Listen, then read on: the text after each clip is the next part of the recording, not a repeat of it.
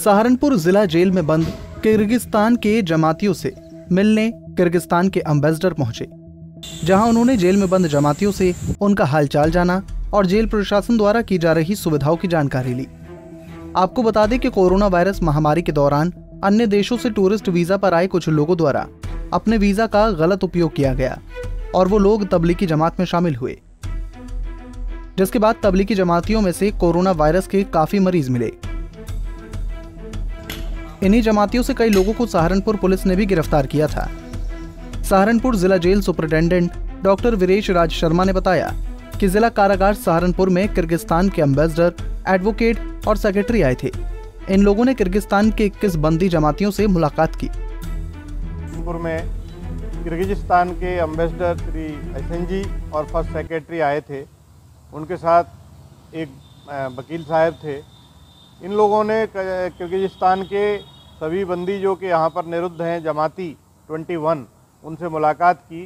Jail में वो किस प्रकार हैं, ये हालचाल जाने। उनको फल आदि वितरण किए और उन बंदियों ने यहाँ पर जो व्यवस्था है, उसको देखकर संतुष्टि ज़ाहिर की। जितने भी यहाँ पर बंदी जो किर्गिस्तान के लिए थे किर्गिस्तान के निरुद्ध हैं, उनको आश्वासन दिया कि जल्दी ही उनको जो है, वो किर्गिस्तान ले जाएँगे। सरकार से बात चल रही है।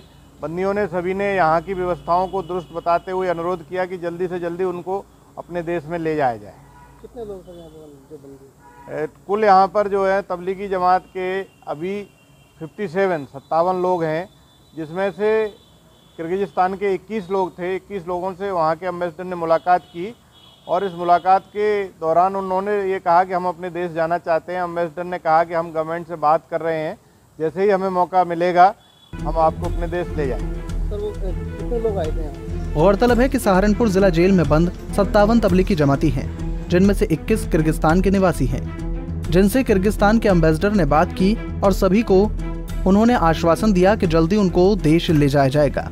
पंजाब केसरी के लिए सहारनपुर से रामकुमार पुंडीर की रिपोर्ट।